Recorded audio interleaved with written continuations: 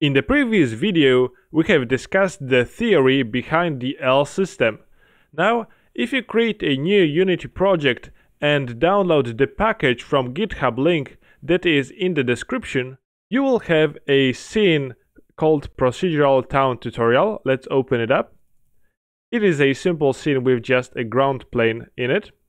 Besides that, I have provided you with some models from Quaternius. I recommend you check out his website. And I have created some prefabs from those models so we can use them on our ground, or we can place them in our scene. So in this episode, we are going to tackle the challenge of implementing the L system into Unity. As previously discussed, L system consists of rules, of axiom, so the starting sentence, and of the rewriting function, which rewrites our axiom by changing its characters into the output from the rules that we have established.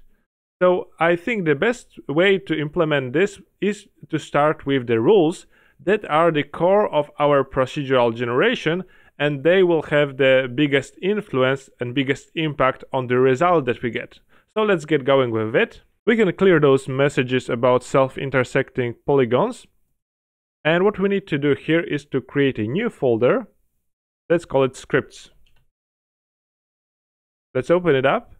And inside it let's create a folder called rules. And let's open it up as well. So for our rules we need to have an input character and the output character or the word that we want to output. So let's create a new c sharp script and let's call it rule let's open it up okay you can delete the content that was pre-created by unity because our rule class will extend scriptable object. So let's type scriptable object. And if you are not sure what scriptable object is, it is a form of data container and it will be easier for us to create scriptable object in our assets that contains the rule and we will fill it in what we want it to do inside our editor so we will be able to reuse this rule in for different towns if you have multiple of them.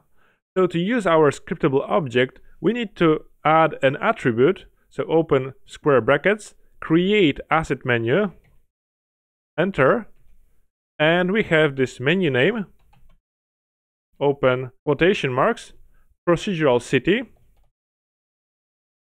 or procedural town because it's more of a town, and let's call it rule. So this attribute will make certain that we can create a scriptable object by right-clicking inside our editor, inside our assets folder. We are going to do that in a minute, but for now, let's focus on what we want to have here. First of all, we need to have a public string letter,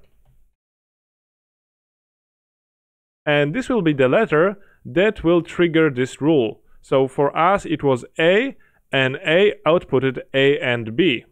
So we will need to have a private string and this will be an array results equals null.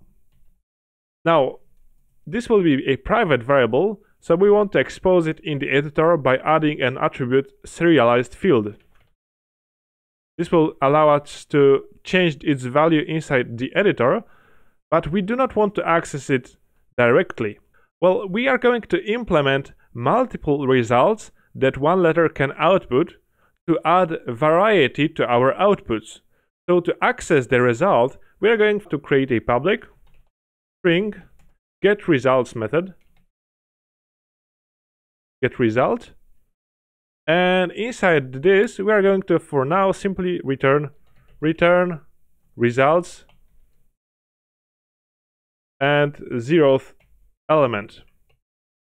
This structure will allow us to implement more code here and to get different results based on, for example, a random value. But we don't need it yet, so let's leave it like this. Let's go back to Unity. And you can right click now here, create, and we can see our menu procedural city, rule, let's create rule 1. And you can see that we can provide the letter, for example, A. And inside the results, let's add one position and let's output AB. Okay, so with basic structure for creating rules, we can now create a main function that will drive the L system and will make use of our rule class. And that's what we are going to do in the next video.